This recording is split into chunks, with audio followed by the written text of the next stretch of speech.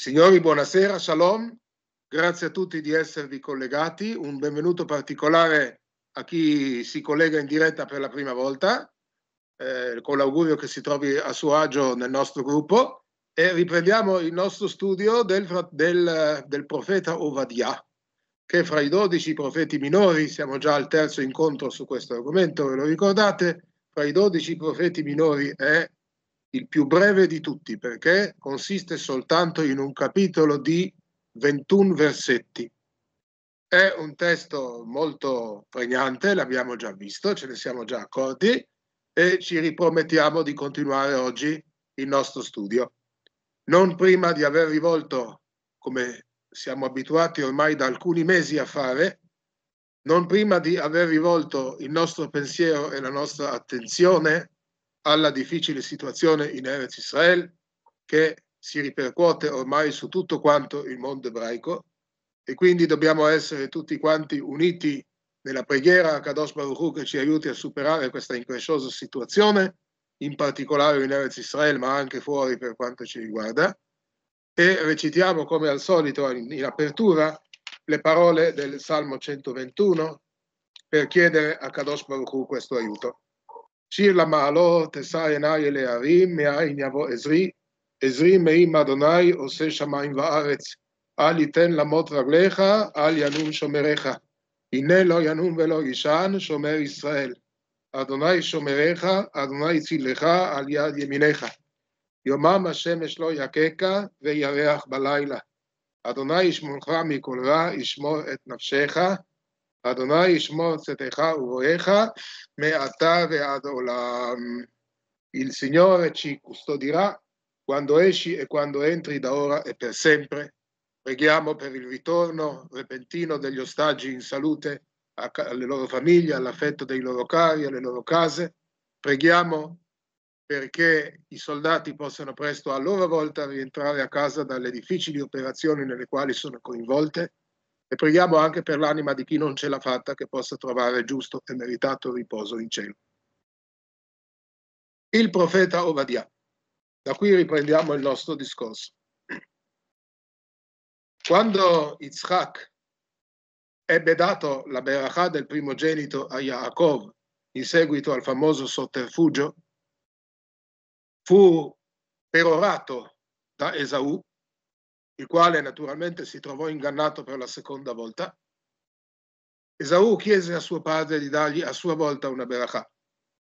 E questa berachà data a Esaù non era più la berachà spirituale di Yaakov, ma era qualcosa di diverso.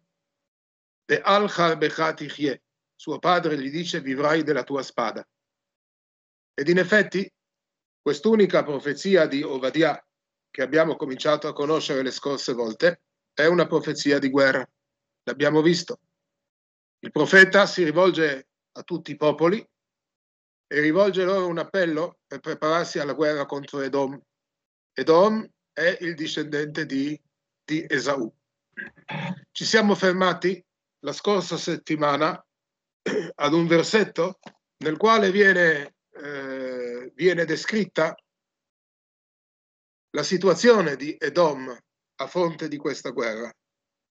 Noi non sappiamo di quale episodio della storia antica si tratti esattamente. Non conosciamo tutte le vicende del popolo di Edom in senso stretto, cioè di quella popolazione di cugini o di fratelli che vivevano nell'attuale Transgiordania o Giordania, che dir si voglia. Siamo arrivati al verso 7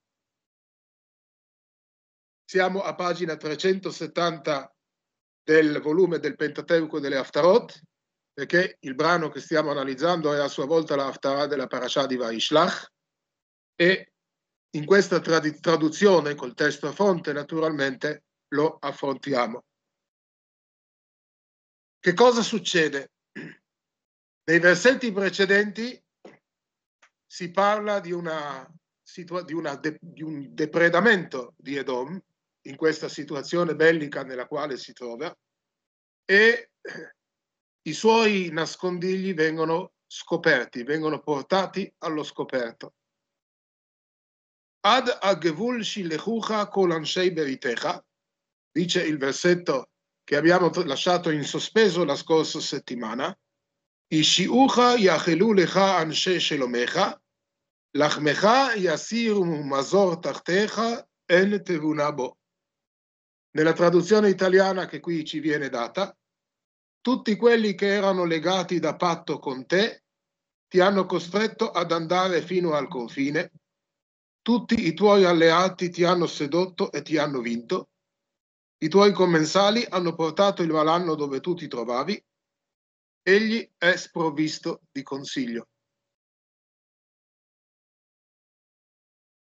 Yechezkel Kaufman, nelle sue Toledota e Monà Israelit, nella sua monumentale storia della fede ebraica, dice che in, questa, in questi primi versetti del profeta Ovadia, che sono ripresi quasi letteralmente in una profezia del profeta Geremia, Yirmiyahu al capitolo 49, troviamo un, un canto di derisione nei confronti di Edom. Come dicevo, non sappiamo esattamente a quale episodio storico si riferisce. Sappiamo che si tratta evidentemente di una presa in giro, sulla quale nei versetti successivi si imposterà un discorso nuovo. Kaufman ipotizza che possa essere qui un topos letterario, cioè che possa essere qui un elemento ricorrente nella letteratura antica, quello della presa in giro per motivi storico-politici. Fatto sta che si adombra qui un episodio particolare. Cerchiamo di capire di che cosa si tratta. Il testo dice Ad aggevul shillechucha kol anshei beritecha, nella traduzione letterale, tutti quelli che fanno parte del tuo patto, tutti quelli che erano legati da patto con te, ti hanno accompagnato fino al confine. Che cosa ci immaginiamo? Ci immaginiamo una situazione in cui Edom sta partecipando ad una guerra ha degli alleati e questi alleati lo accompagnano fino al confine, cioè fino al luogo dello scontro con i nemici. E a questo punto che cosa succede? I Shiucha ti hanno abbandonato, ti hanno tradito, ti hanno ingannato. Gli uomini della tua pace letteralmente, cioè i tuoi alleati ti hanno sedotto e ti hanno vinto.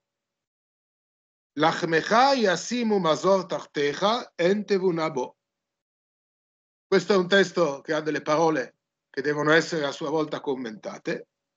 L'idea generale è che gli alleati accompagnano Edom combattente fino al confine, nel punto geografico cioè in cui comincia lo scontro con i suoi nemici, e invece di aiutarlo fino in fondo, lo abbandonano miseramente alla sua sorte.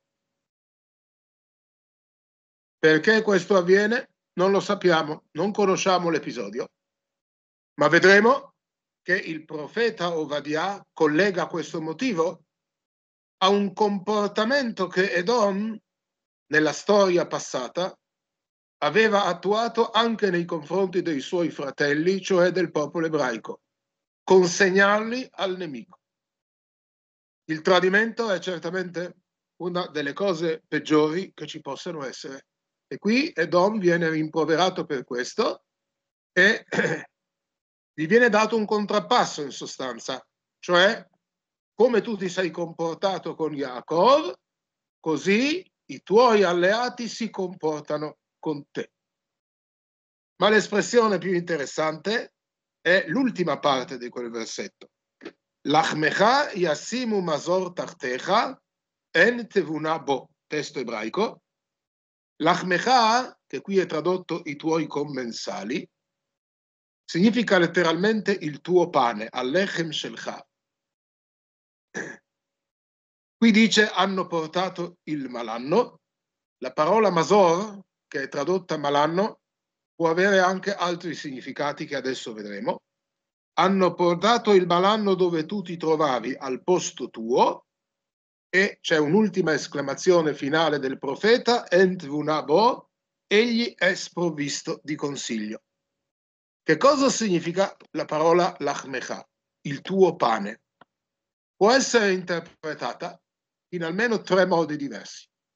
Il primo è quello che ci offre la traduzione qui, i tuoi commensali, coloro che partecipano del tuo pane. Di quale pasto comune si tratta?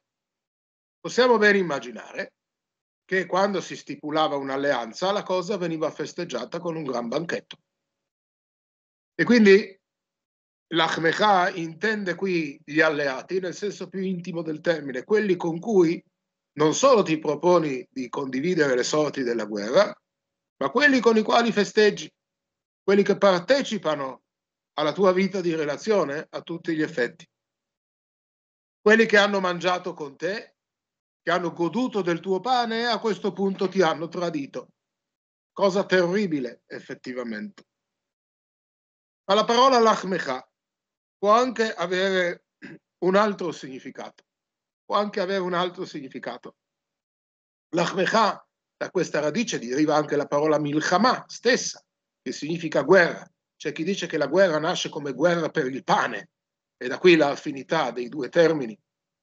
A questo punto l'achmecha significa semplicemente i tuoi combattenti. I tuoi combattenti ti hanno tradito. C'è una terza possibile interpretazione di questo lachmecha. Nella parasha di Shelach Lecha, nel capitolo 13 o 14 del, del libro dei numeri, del, del libro di, di Bemidbar, l'immagine del pane è indicata, è usata per indicare qualche cosa di facile conquista. Chi lachmenu hem, dice un versetto lì, non dobbiamo temere certi popoli perché sono il nostro pane. Cosa vuol dire sono il nostro pane? sono a portata della nostra conquista. A questo punto, il termine usato qui potrebbe avere, secondo questo significato, una, una sfumatura ancora più forte. Non sono semplicemente gli alleati, ma sono le persone che noi consideravamo più deboli di noi. Ebbene, proprio da questi ci è arrivato il tradimento si è manifestata in realtà tutta la loro forza anche nei nostri confronti nel consegnarci ai nostri nemici. Quelli che credevamo essere il nostro pane, quelli che credevamo non costituire un problema per noi, sono diventati invece la fonte del nostro principale problema. L'immagine a questo punto è estremamente forte. Questa è l'interpretazione di Shimshon Raphael Hirsch, sulla quale torneremo. Ma c'è un altro termine problematico in queste parole, in questo versetto, ed è il termine masor, che qui è tradotto malanno. Yassimu masor tartecha. Nella traduzione qui, i tuoi commensali hanno portato il malanno dove tu ti trovavi. La parola masor ha anche questa significati diversi sulla base di una parola rara, ma sulla base dei pochi confronti che noi abbiamo in altri versetti del Tanakh, c'è chi la traduce rete, hanno portato la rete dove tu ti trovavi, cioè ti hanno imprigionato in sostanza. Oppure esiste nella Mishnah, nel trattato Hulin, dove si parla di questioni alimentari, di regole alimentari, l'espressione Beitzim Musarot, per dire uova guaste. E quindi Masor avrebbe a questo punto il significato di guasto. Ci sono dei versetti anche nel Tanakh dove la parola guasto oppure malanno è senz'altro giustificata. Ma c'è un'altra interpretazione ancora, ed è quella della Brabanel, il quale confronta questo termine con un altro termine che ha il significato esattamente contrario. Questo capita c'è nel primo capitolo di Yeshayahu l'espressione lo zoru ve lo hubashu. Le ferite non sono state lenite e non sono state fasciate. Mazor, secondo questa interpretazione, non significa malanno, ma significa il suo opposto, significa guarigione. E quindi, e quindi conterrebbe evidentemente un'ironia qui, un'ironia tremenda Yassimu Mazor Tachtecha significherebbe hanno portato la guarigione, fra virgolette, dove tu ti trovavi. Quella che tu pensavi essere la fonte della tua guarigione, la soluzione dei tuoi problemi si è trasformata nella tua rovina. L'ironia è forte, l'ironia è veramente terribile di questa espressione e l'uso di questo termine così raro e difficile da decifrare con esattezza aumenta naturalmente l'aspettativa da parte di noi che siamo i lettori, proprio perché la rosa di possibilità interpretative è grande come abbiamo visto. Di quale episodio si tratta qui non lo sappiamo, abbiamo detto.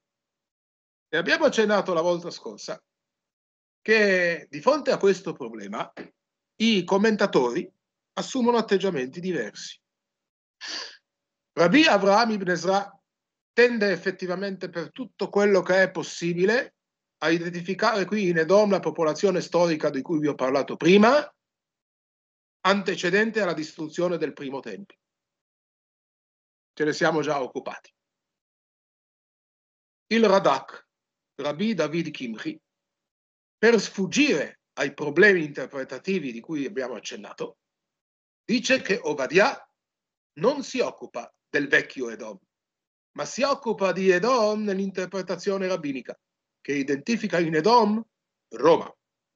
E quindi non si parla più del primo tempio, ma si parla invece dell'epoca della distruzione del secondo tempio ad opera dei Romani.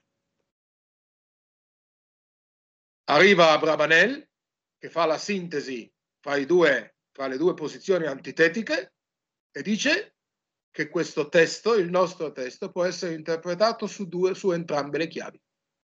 Interpretato sia in funzione di Edom all'epoca del primo tempio, ma anche in funzione di Roma la distruzione del secondo tempio e la storia romana in genere.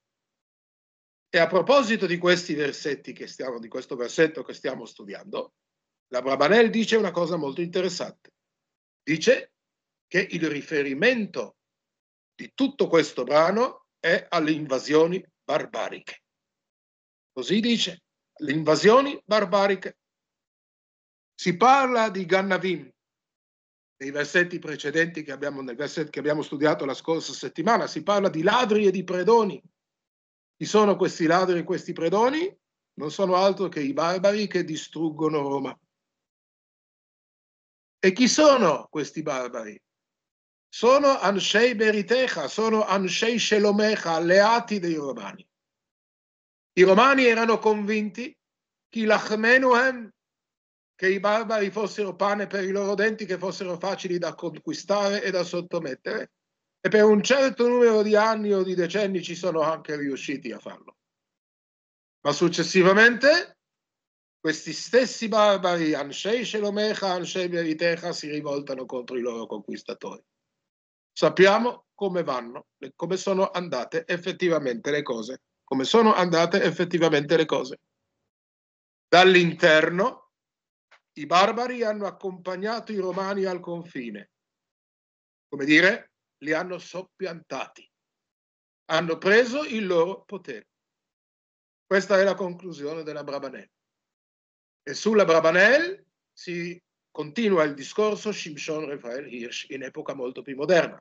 La Brabanel è vissuto alla fine del 400, Shimshon Raphael Hirsch è vissuto nel corso dell'800. Cosa dice Shimshon Raphael Hirsch? commenta l'espressione en tevunabo. Egli è sprovvisto di consiglio. Che cosa significa questa espressione nei termini delle invasioni barbariche? Significa che i barbari hanno vinto proprio per la loro rozzezza. I romani erano convinti della propria superiorità culturale, sia pur con i limiti di cui abbiamo parlato la settimana scorsa, erano a un certo punto convinti di ciò. I barbari li hanno sopraffatti proprio perché assai meno colti e hanno instaurato un dominio privo di tvuna, privo di intelletto, privo di intelligenza. Però, dice Shimshon Rafael Hirsch, che cosa hanno portato questi barbari? Hanno portato Masor. Mazor significa guarigione.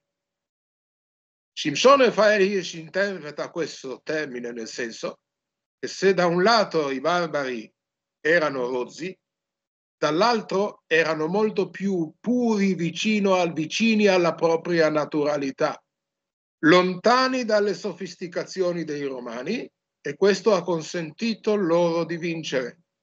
Questo significa la parola Mazor nel senso di guarigione. Hanno portato qualche cosa di nuovo che ha sostituito l'impero romano corrotto.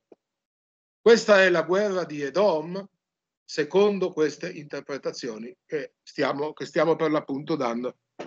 Da un lato non c'è Tevunà, non c'è intelletto in questi nuovi dominatori, ma dall'altro c'è guarigione, c'è una purezza, chiamiamola così, ancestrale che guarisce le sofisticazioni e le sovrastrutture dell'impero romano in crisi.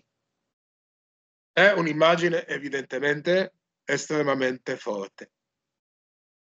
Questo versetto, prima di passare oltre, è oggetto di un'analisi talmudica. Questa analisi talmudica apparentemente non c'entra niente con l'interpretazione che, stiamo dando, che è verosimilmente legata a secoli, a secoli posteriori. Però intanto vi posso dire che delle invasioni barbariche nel Talmud c'è un eco. C'è una Gemara in Megillah, il Daf Vav, se ben ricordo, che commenta un difficile versetto del libro di Giobbe, Iov, che dice Smamo al Tafek, che letteralmente significa non far uscire a compimento le sue macchinazioni.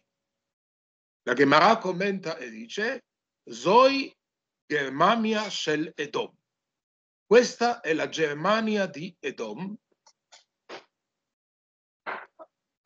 כאשר יוצאים מחריבים את כל העולם כולו, che quando escono in guerra distruggono tutto quanto il mondo.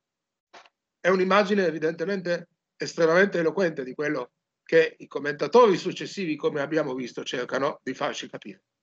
Ma il passo del Talmud che volevo brevemente analizzare con voi è un passo differente è contenuto il trattato Sanedrin, il trattato Sanedrin e riporta alcuni insegnamenti di Rabbi Elazar.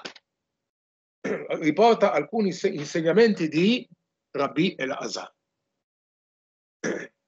Questi insegnamenti vertono tutti sul concetto di Da'at, di sapienza, di conoscenza, che è qui inteso come sinonimo di Tvuna, che è usato nel testo di Ovadia, che qui è tradotto consiglio.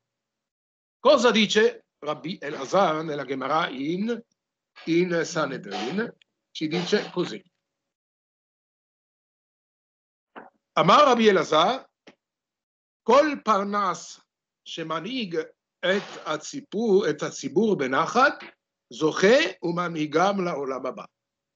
Qualsiasi uomo pubblico, uomo politico, diremmo noi, amministratore, che guida la collettività con, con, con, ponderazione forse, letteralmente con tranquillità, in modo, in modo sereno, li conduce al mondo a venire. Aggiunge Rabbi Elazar dice, Ve'amar Rabbi Elazar, Gedolà de'a shenitna ben shtei. Grande è la sapienza perché il versetto la nomina fra due nomi di Dio.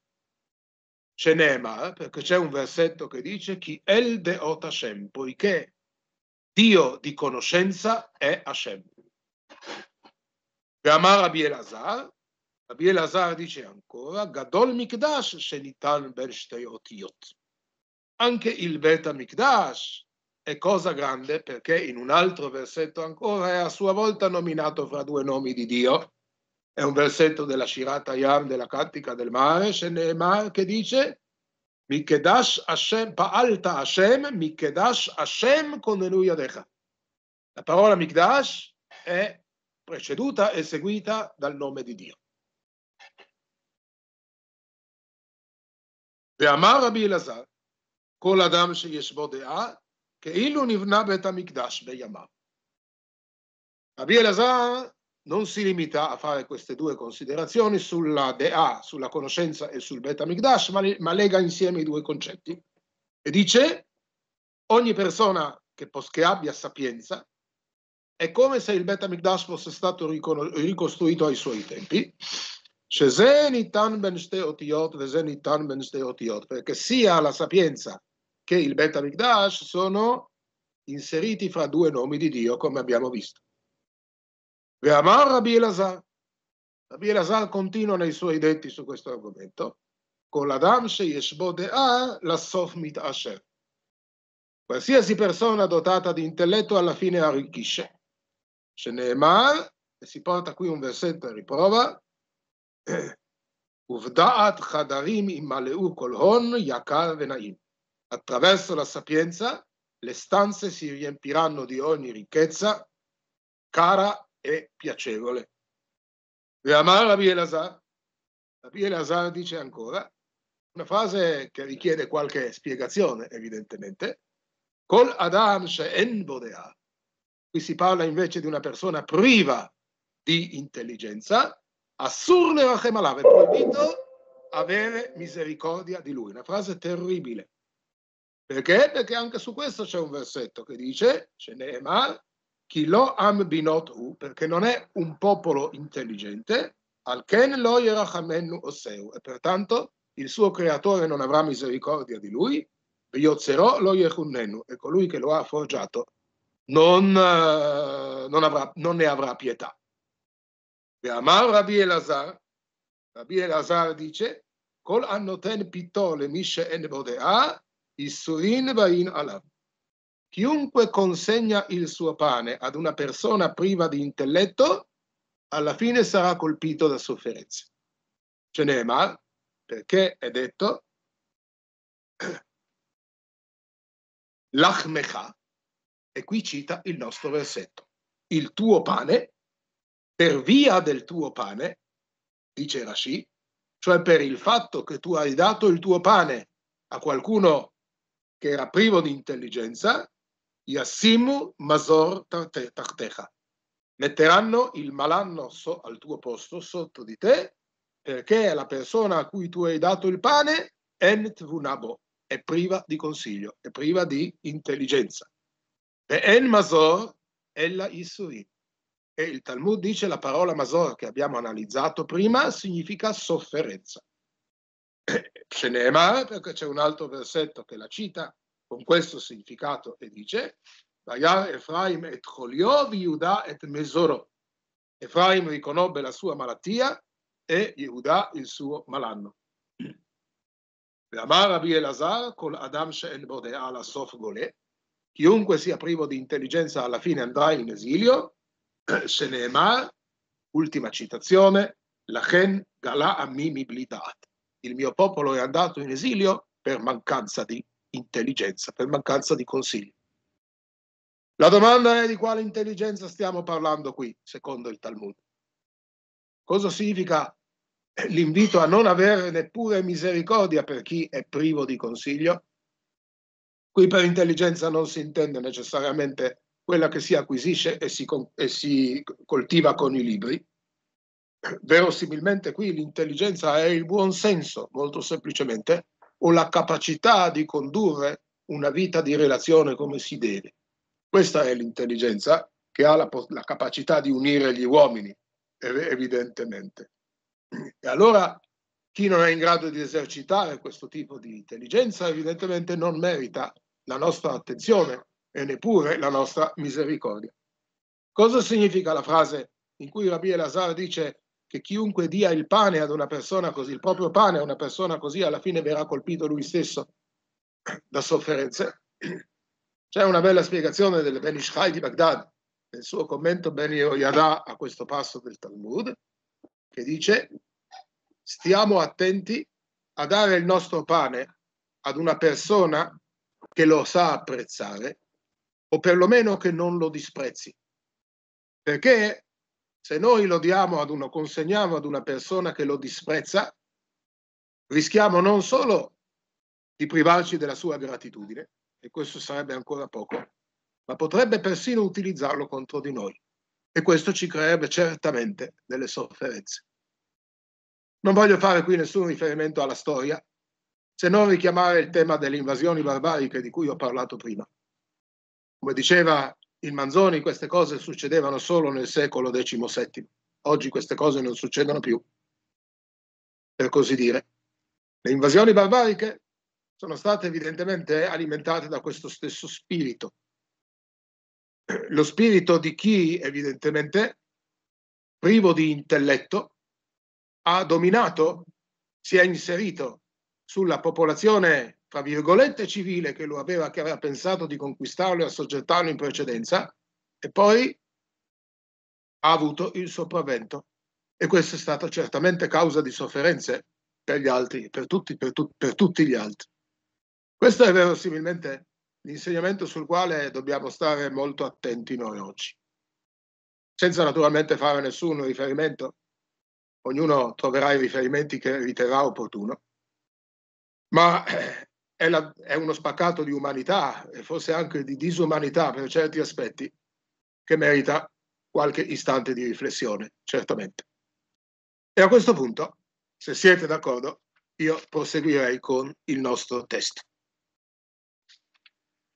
Che cosa dice il versetto successivo? Il versetto 8, in italiano, in quel giorno detto del Signore, distruggerò i saggi da Edom e l'intelligenza dal monte di Esau.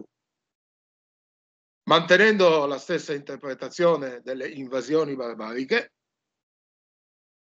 distruggerò i saggi da Edom significa che l'imposizione di una cultura più rozza all'Occidente ha determinato la fine della cultura di Edom, della cultura di Roma, anche loro sono stati privati dell'intelligenza. הלא ביום ההוא נאום השם, ועבדתי חכמים מאדום ותבונה מהר עשיו. Verso 9. וחטאו גיבוריך תימן למען יכרת איש מהר עשיו מקטל. E i tuoi prodi, o Teman, avranno paura, così che tutti saranno distrutti dal monte di Esaù in conseguenza della strage. Chi è qui Teman? Teman oggi lo si identifica con lo Yemen. In realtà non si tratta dello Yemen, anche se lo Yemen ci sta dando in questo periodo dei problemi a sua volta. Chi lo sa? Teman è una città di Edom, o secondo un'altra interpretazione andate a guardare alla fine della parasha di Vaishlach, e scoprirete che Teman è il nipote di Esau. Esau ha avuto un figlio che si chiamava Elifaz e uno dei figli di Elifaz è Teman. I tuoi prodi avranno paura, oppure secondo un'altra interpretazione i tuoi prodi saranno annichiliti, saranno distrutti. E qui comincia la rimembranza dei cattivi rapporti che ci sono stati fra Esaù e Jacob. Sono temi che abbiamo già affrontato altre volte, evidentemente, e che si concentrano in due momenti storici essenziali. Il primo è la distruzione del primo Bet HaMikdash ad opera dei babilonesi. È stata l'epoca in cui gli ebrei assediati dai babilonesi hanno, cioè, hanno contato sull'aiuto dei fratelli idumei, figli di Esaù, e questi li hanno traditi. Li hanno traditi esattamente nello stesso modo che abbiamo visto descritto prima. Li hanno consegnati ai babilonesi nel momento della, della, diciamo così, in cui maturava la disgrazia. Invece di assisterli, li hanno trattati male. E i versi successivi ci descrivono nei dettagli come questo è avvenuto. Ma c'è anche possibile la seconda interpretazione, quella aggiornata, quella chiamiamola così escatologica, che identifica in questi atti di violenza quello che è accaduto non alla distruzione del primo tempio, bensì del secondo. E chi ha distrutto il secondo tempio? Il primo tempio è stato distrutto dai babilonesi, il secondo tempio è stato distrutto dai Romani, cioè dagli Idumei stessi, perché Roma e Edom, nella nostra visione delle cose, coincidono. Insomma, il rimprovero quale sarebbe, secondo la Bravanel, che collega sempre i due momenti storici? Gli Idumei la prima volta si sono limitati a fare da assistenti alla poltrona, la seconda volta sono stati loro i protagonisti della nostra distruzione e il secondo esilio è stato addirittura molto peggio del primo, come sappiamo. Ma vediamo i versetti che cosa ci dicono. Verso 10. Mechamas achicha Yaakov techasecha busha venichratta leolam. Tu sarai coperto di onta per il male che hai fatto a tuo fratello Yaakov e sarai distrutto per sempre. La parola busha, osservano i commentatori, in ebraico moderno significa onta, significa vergogna, ma in ebraico classico, in ebraico biblico ha un significato forse un pochino diverso. Significa delusione per il fatto di non essere riusciti a portare a termine il proprio progetto. Così ricorre spesso con questo senso. Però direi che i due, i, i due significati si completano a vicenda, tutto sommato. E a partire dal verso 11 viene descritto l'atteggiamento di Edom in maniera particolareggiata. Cosa ha fatto di male Edom nei confronti di Jacob? Che sia il primo tempio o che sia il secondo. Parliamo del primo, forse è più facile. Il testo dice in ebraico, Beyom amodcha mineget.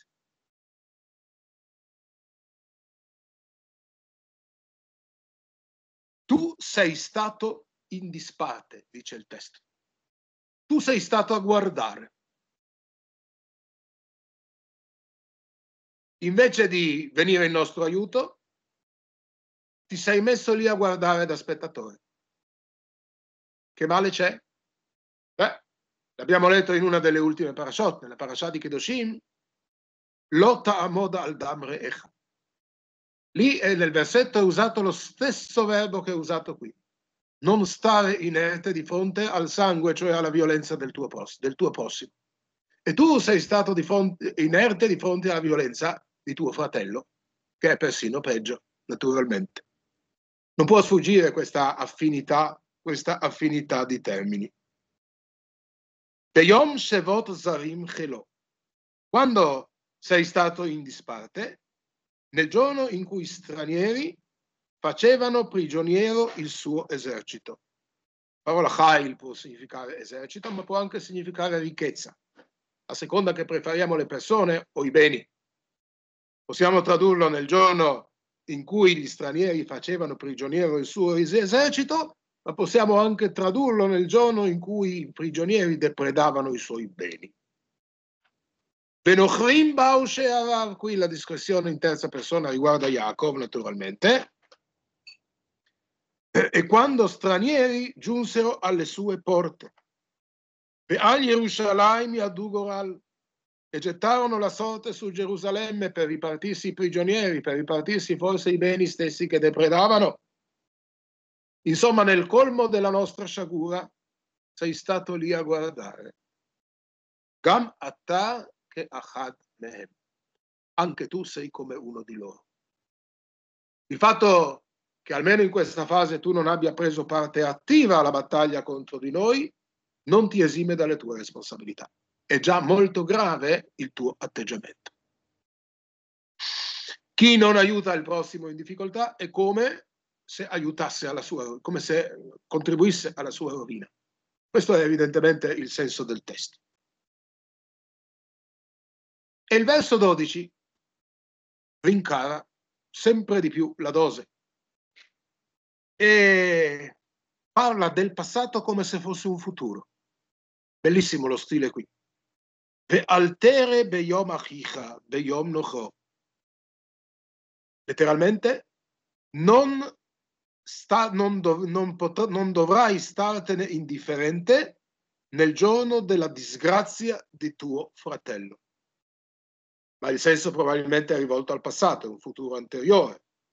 Non avresti dovuto startene indifferente nel giorno della disgrazia di tuo fratello. Questa formula grammaticale è molto forte.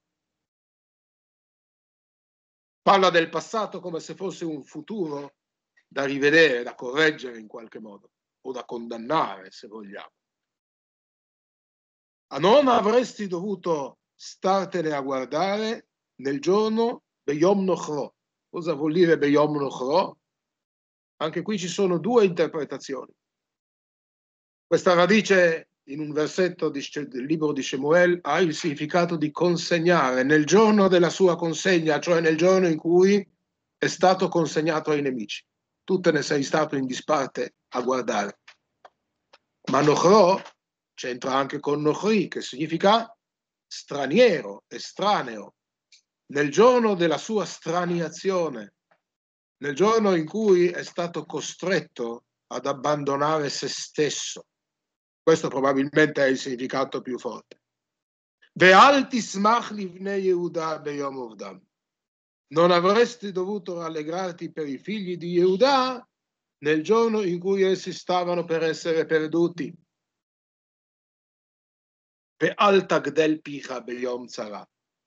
Non avresti dovuto parlare con alterigia nel giorno della sua sventura. Ecco che qui comincia a emergere un comportamento ancora più grave.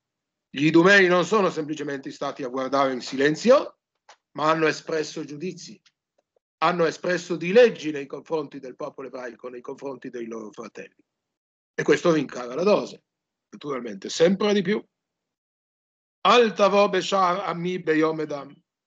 Non avresti dovuto entrare nella porta del mio popolo nel giorno della sua rovina uniti con i nemici di Israele se si tratta del primo tempio, ma se si tratta del secondo tempio qui gli Idumei, cioè Roma, vengono accusati di essere loro stessi entrati a Gerusalemme e di aver portato alla distruzione. Altere gamattabera atobe yomedo, si ripete il concetto, non avresti dovuto assistere anche tu indifferente al suo male nel giorno della sventura.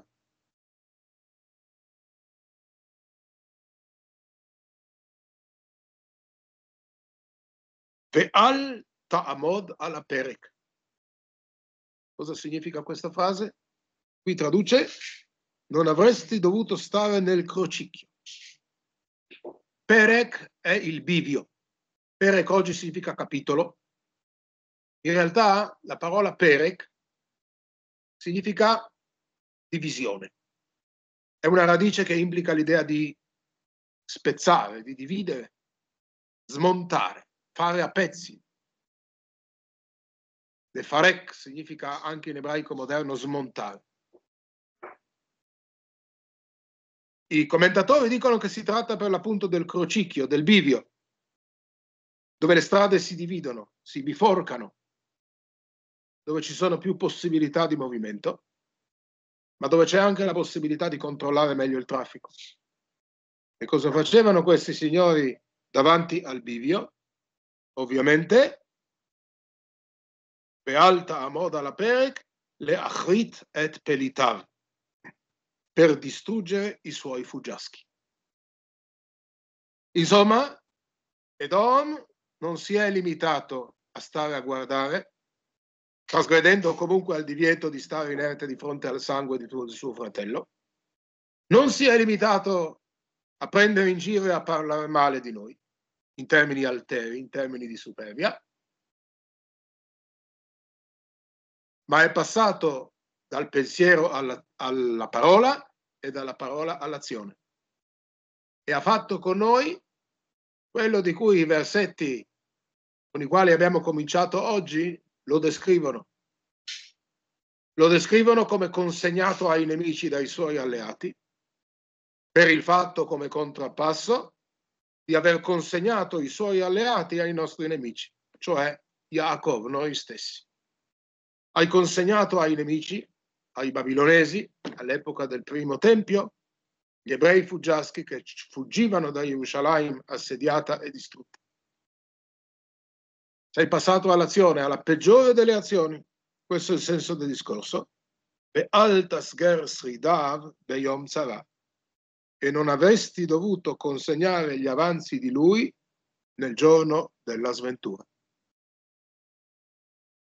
Credo che oggi ne abbiamo viste abbastanza di cose per concludere qui. Oggi magari facciamo una lezione un pochino più breve e concentrarci particolarmente sul messaggio che è contenuto in questi versetti. Un messaggio che ci riporta all'importanza della fratellanza, del saper eh, interpretare la parola divina come un invito all'unione interna, all'unione fra fratelli, all'unione fra cugini, per quello che è possibile, naturalmente. Dobbiamo ritrovare questo valore nella compagine del mondo ebraico, in Israele, nelle nostre comunità. Sabah Sandir, quanto il tradimento fra fratelli possa essere pernicioso per tutti. Questo credo che sia il messaggio che Obadia ci vuole portare con questi versetti. Ci vuole portare a considerare l'importanza di questi, di, di, di, questi temi. Un tema, lo accenno soltanto, che si ritrova nella parasha di questa settimana, alla fine della parasha di Be'ar Sinai, in cui si parla dell'importanza di riscattare i prigionieri, di riscattare quei nostri fratelli che si, si trovano alla mercé di persone di altri popoli. È un tema spinoso, è un tema di grandissima attualità sulla quale siamo chiamati a riflettere e possibilmente anche ad agire per il bene nostro e per il bene di tutta quanta la casa di Israele. Vi ringrazio molto per la vostra attenzione e vi do appuntamento senz'altro per la prossima settimana in cui porteremo avanti ulteriormente il nostro studio. Shabbat shalom a tutti. Shabbat shalom.